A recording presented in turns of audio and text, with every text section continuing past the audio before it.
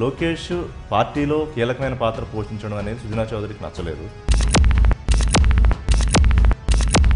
ఎక్కువ మనుషులు నమ్ముకోకుండా మిషన్లను నమ్ముకోవటం. చంద్రబాబే ఒక డైరెక్షన్లో మిమ్మల్ని బీజేపీలోకి పంపిస్తే అది రాజకీయ వ్యూహం అవుతుంది. రెండిట్లో ఏది జరిగింది?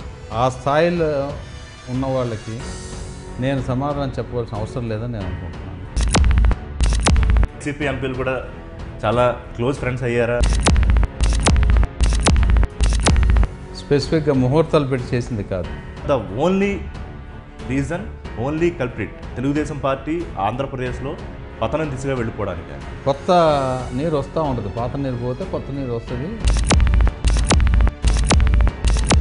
సో మీ ప్రత్యర్థులైన ప్రాంతీయ పార్టీలని సమూలంగా ఫినిష్ చేయడం అనేది వాళ్ళ బీజేపీ మిషన్లో ప్రధానమైన లక్ష్యమా? టూ థౌజండ్ సెవెంటీన్ నుంచే నేను టోటల్గా ఏది నేను ఇన్వాల్వ్ కాలేదు చెప్పలేదు.